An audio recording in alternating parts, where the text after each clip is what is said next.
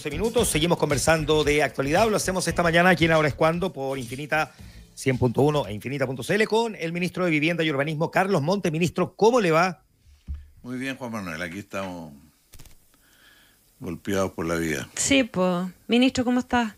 La otra vez también andábamos medio golpeados y tuvimos una conversación medio intensa. Es bien inevitable no partir por preguntarle por ese efecto, ¿ah? porque tenemos muchos temas que conversar con usted y lo vamos a hacer. Ese es obviamente el, compromiso respecto a la permisología, el avance en el plan de vivienda, etcétera. Pero, ¿cuánto se puede trabajar y concentrar uno? Usted que es un político de carrera, de trayectoria.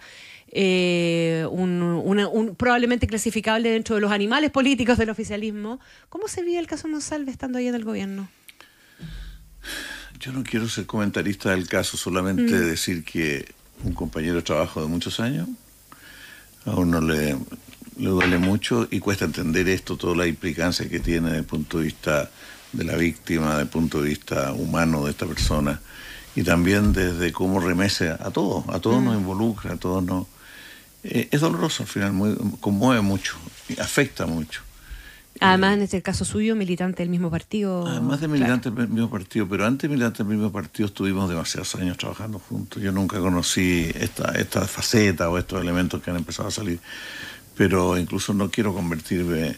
Creo que sí que todo esto ha tenido la, toda la transparencia que todo el mundo quiere, que se ha tratado como una persona que cometió ciertos delitos, que supuestamente cometió ciertos delitos, todo indica que es así y yo creo que lo, lo de ayer, en fin, fue un día, vi, la, vi el momento en que se desmayó, en fin, distintos momentos y uno dice, bueno, en re, lo que se generó en torno a él.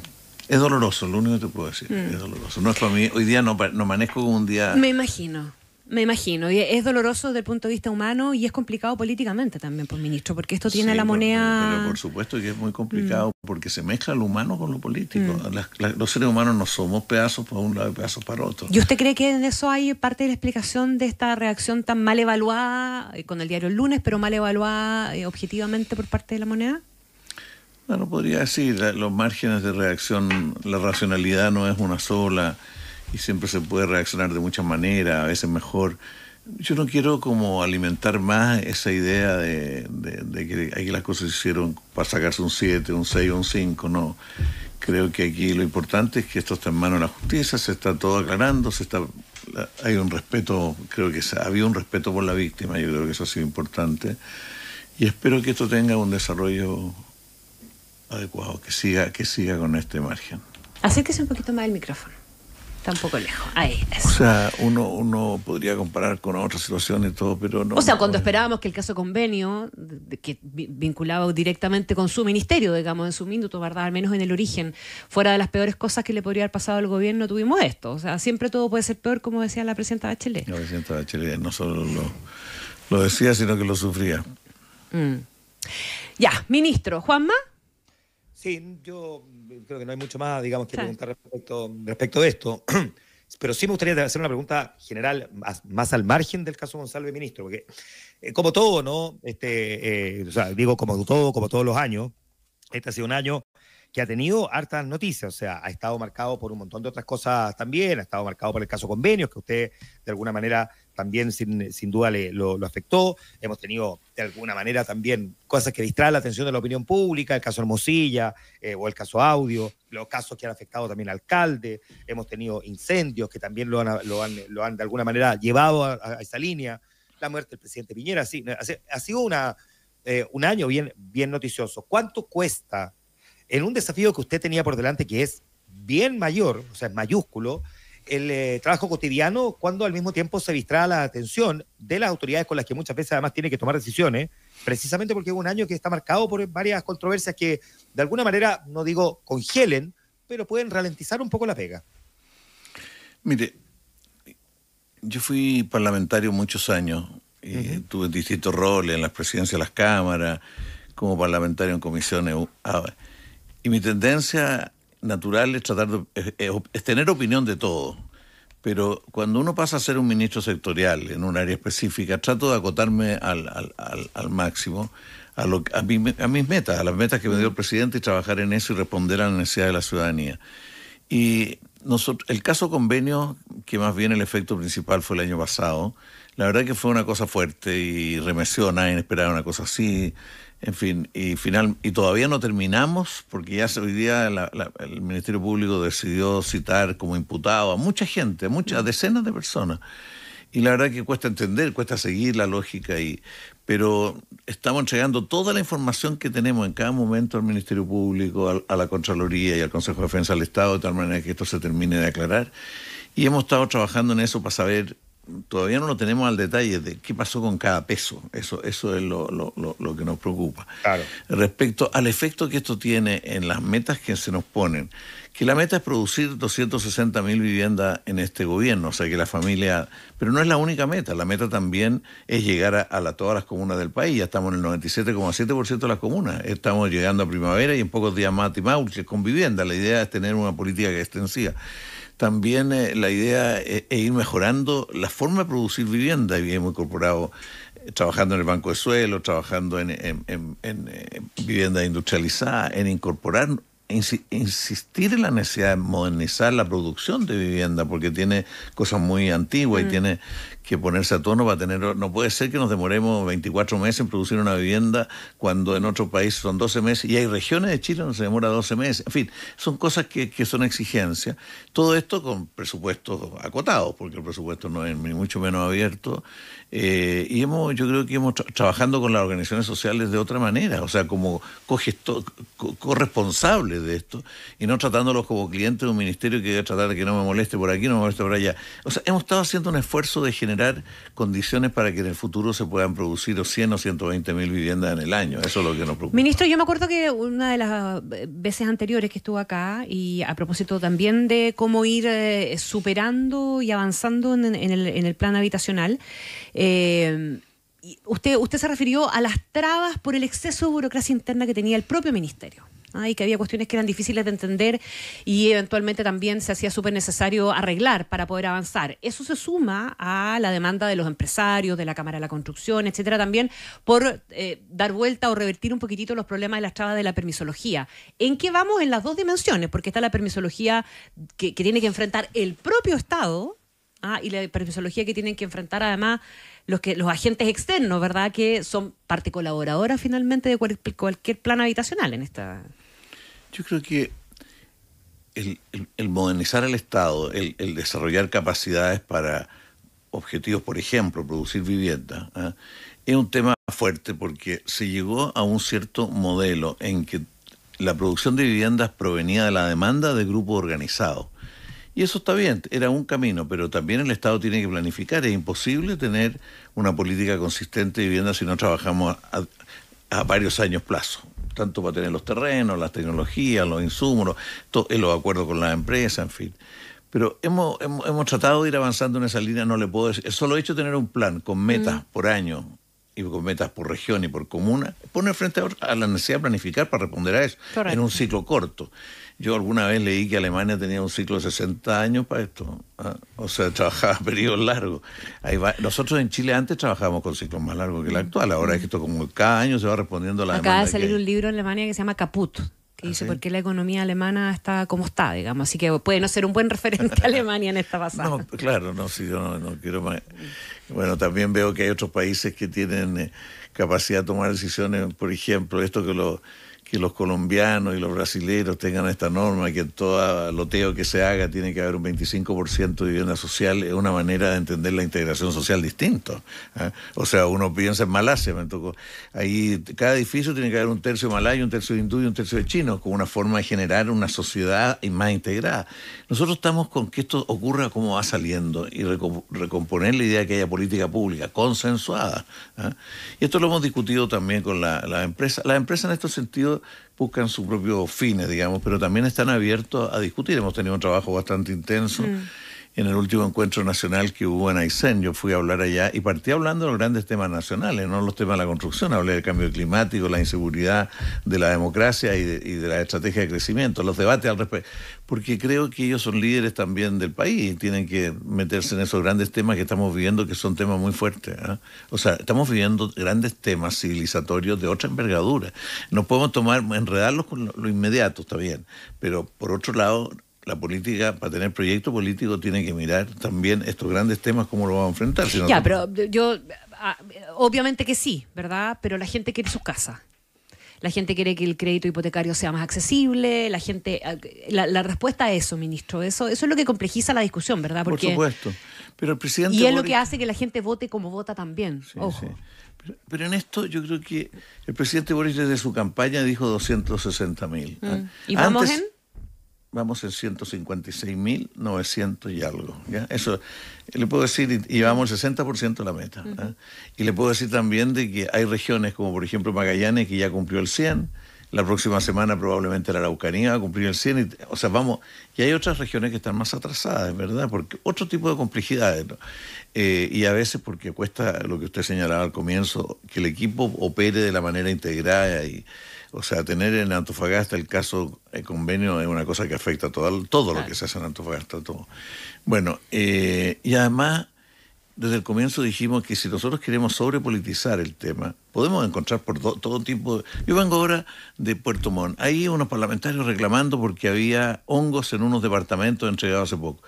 Todos los que analizaron esto dijeron los hongos porque falta ventilación. Se crearon mecanismos de ventilación que nunca habían existido, pero hay un problema de explicar mejor. y No hay circulación, no sé si me explico. Mm, entonces necesitamos que esto se vea visto también como un problema país, de responsabilidad de todos, más que una pelea política de coyuntura. Yo creo que aquí en esto hasta ahora ha estado bien. Yo le temo a que ahora, aquí en adelante, cada uno busque en cualquier grupo que quiere tener una buena relación con, personas de campamento, comités de vivienda.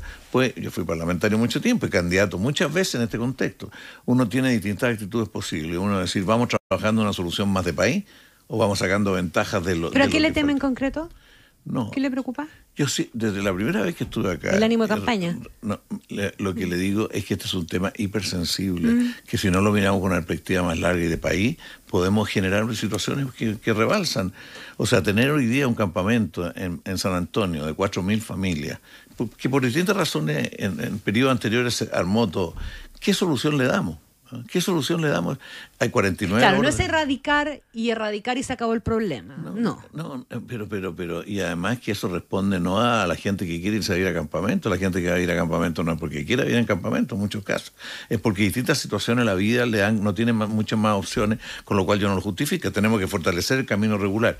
En, el gobierno de Elwin, eh, la, gran solución al tema, que había mucho más, había mucho más familia en esta situación, lo que se hizo ahí fue decir, produzcamos muchas viviendas, de poca calidad, si usted quiere, de poco estándar, mm. pero se produjeron, y eso fue, en siete años estaba las cosas, tuvieron las cosas relativamente bien al respecto. De ahí tuvimos las copeas. no, pero paréntesis. No, efectivamente, esto fue hasta el 97 con el caso de la vivienda copea que ahí puso en cuestión la calidad, no solo la respuesta, no solo la vivienda, y eso porque muchas familias estaban afectadas. Entonces, lo que nosotros estamos ahora trabajando con la mayor responsabilidad, con mucho sentido de país, tratando de que esto no sea una, una cuestión de capitalización política de uno de otro. Hemos tratado de que eso sea, que no sea eso la, la forma de hacerlo. Yo vengo ahora de, Puerto Montt y solo en el día de ayer entregamos 194 viviendas, primero, de muy buena calidad, de muy buen estándar en Puerto Montt, después tuvimos unos hornos, una primera piedra, y después entregar los subsidios para 940 familias. Imagínense, son cosas que son muy importantes para la familia y muy importantes para el país. Pero por otro lado tenemos las metas globales. O sea, no es posible, y es lo que dijo el presidente Boric, producir más de 260 en cuatro años. Y son 650 mil las familias sin casa. Por lo tanto, necesariamente hay muchas familias que no acceden a este gobierno a solución. Entonces tratamos de ir acortando los plazos y todo eso para poder hacerlo y eso no es fácil. Y esto, el origen de esto, mire, que esto se produzca, porque es bueno también en, los diálogos como este preguntarse por qué se produjo esto. En el periodo que Chile más creció. Nunca pasamos de 5 mil dólares per cápita a 33 mil dólares per cápita ahora. En el periodo que Chile más creció se nos produce este déficit. Y esto hay que preguntárselo porque tiene que ver con políticas, pero tiene mucho que ver con que hay una variable que no, que nos afecta, que el, el suelo, la escasez y el valor del suelo, todo. El problema chileno no. Estados Unidos está con 12 millones y medio de, familias sin casa, o sea, proporcionalmente equivalente al nuestro. ¿ah? Y así todo el mundo. Usted ve las protestas en España de los jóvenes sin vivienda. del precio de los arriendos. Porque sabe que el suelo y la vivienda pasó a ser un, elemento del mercado de capitales y muchos muchos mm. grupos acumulan el suelo. ¿ah? y como para operar en distintos negocios, distintas cosas. Entonces hay cosas nuevas que nos toca enfrentar en esta etapa que tenemos que hacerlas. Yo estoy totalmente de acuerdo. La familia lo que quiere más que por qué, todo eso, quieren saber cuándo van a tener casa. Eso estamos trabajando con la mayor seriedad posible para cumplir las metas y ojalá que las cumplamos y creemos que las vamos a cumplir tener 60,8 no es suficiente, tenemos que terminar este año sobre el 65 de todas maneras para que el próximo año nos dediquemos, o los otros 14 meses que van a quedar, nos dediquemos al 35% que falta.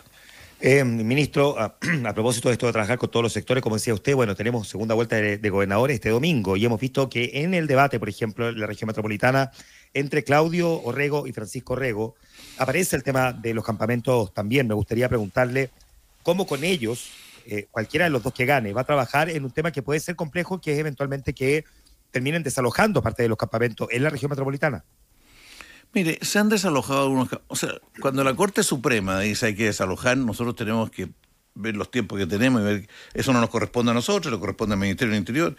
Nosotros tenemos que buscar alternativa. Esto es muy complejo. Le voy a poner el ejemplo de San Antonio. En San Antonio estas 4.000 familias. Primero nos costó mucho el diálogo con la familia, con 4.000 familias y con las distintas organizaciones. Llegamos hoy día a estar de acuerdo con 60 de los grupos que hay ahí adentro para ir en un camino de constituir cooperativas y que en definitiva sean las propias familias las que compren el terreno y a partir de eso presenten el proyecto al Ministerio para la construcción de las viviendas. En eso estamos. Esto es súper difícil. Mm.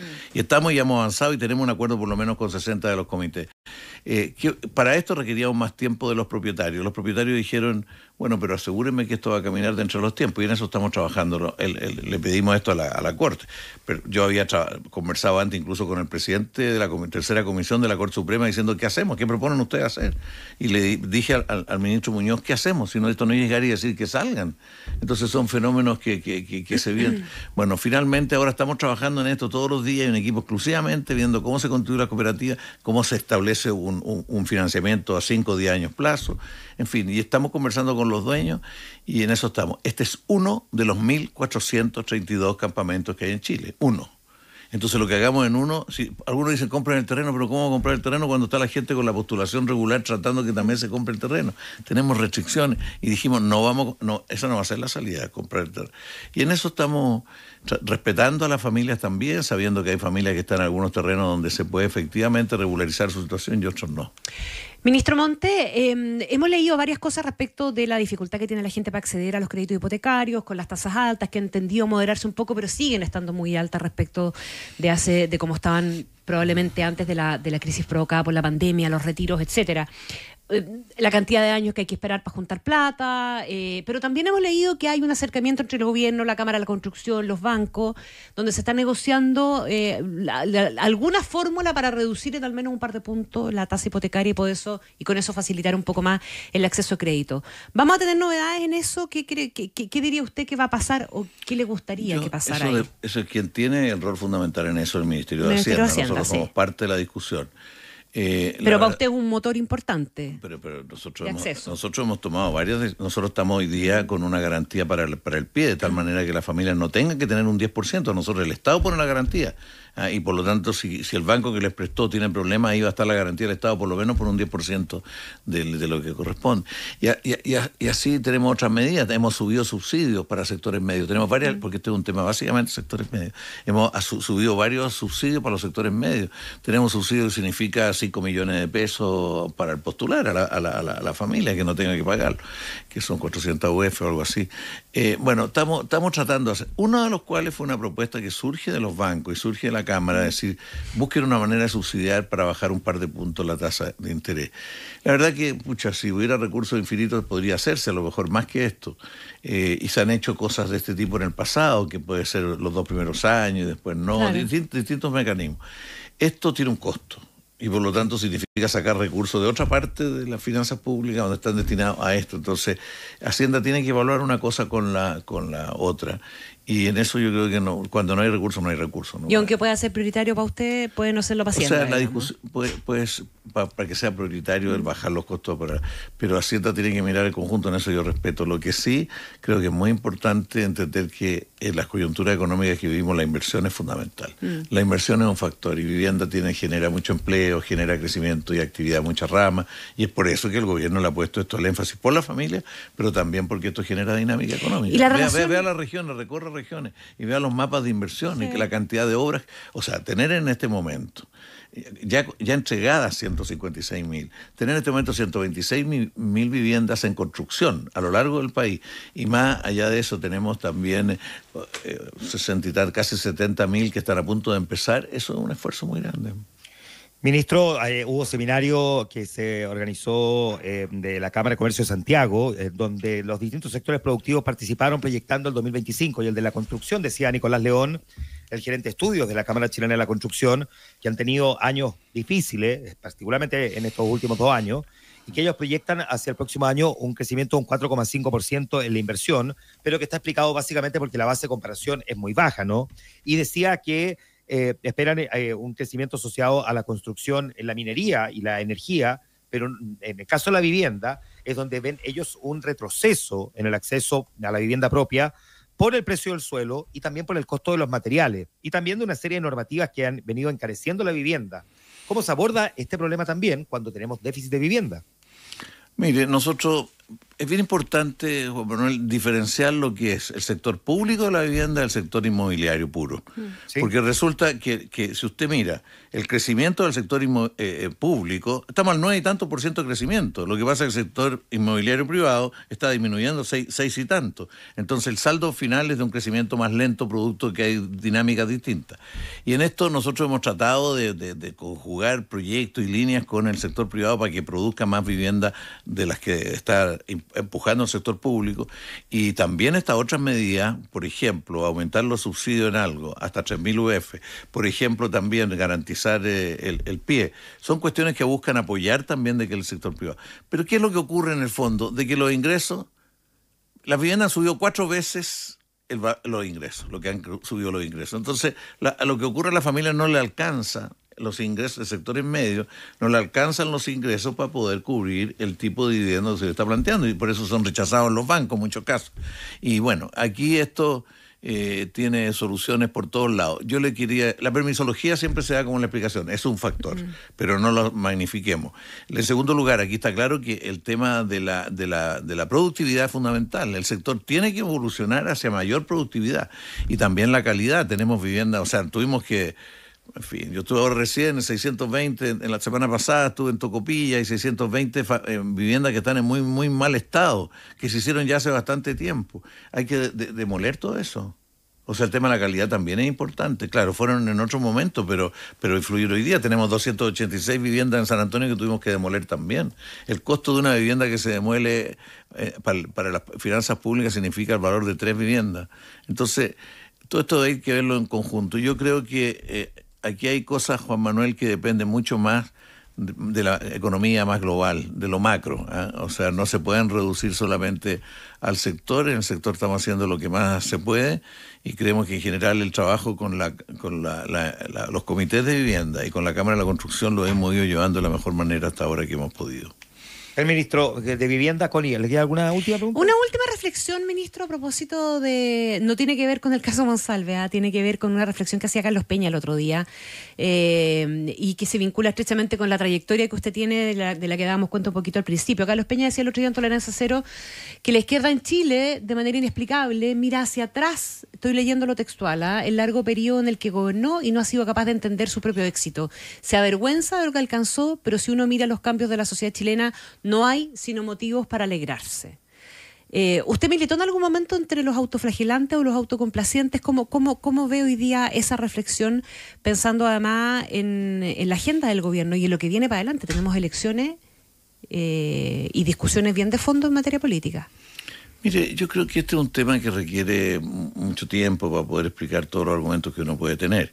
En todo caso, es muy importante tener presente lo que hizo el gobierno del presidente Edwin, cómo fue la concertación que dijo aquí lo fundamental es crecer, crecer y crecer para instalar eh, la democracia por los derechos humanos y por la situación de muchas familias, sabiendo que crecer en ese momento era fundamentalmente tratar de que los grupos económicos más grandes se movieran. O sea, esa, era la... Pero eso no podía ser permanente. Yo creo que hubo momentos que eso requirieron cambio la presidenta Bachelet en su segundo gobierno trató de hacerlo, ocurrió lo que ocurrió. Bueno, eh, en algunas cosas se logró, en otras no.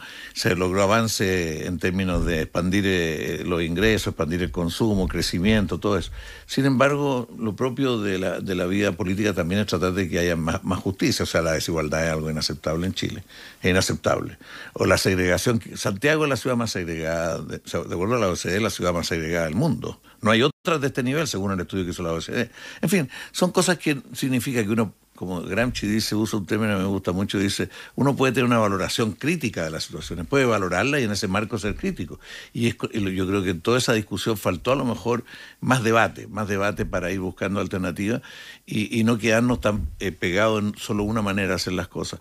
O sea, la democracia hoy día es un problema no solo en Chile. Eh, no es solo Chile. Mm. La democracia en general requiere repensarse ¿ah? y repensarse las instituciones, repensarse las maneras de gobierno, los todo. Y eso canales de participación.